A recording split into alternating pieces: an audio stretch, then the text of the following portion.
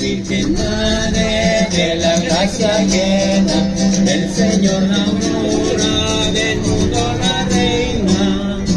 Ruega por nosotros, Madre de la Iglesia, Virgen de del Adviento, esperanza nuestra, de Jesús la aurora del cielo la puerta.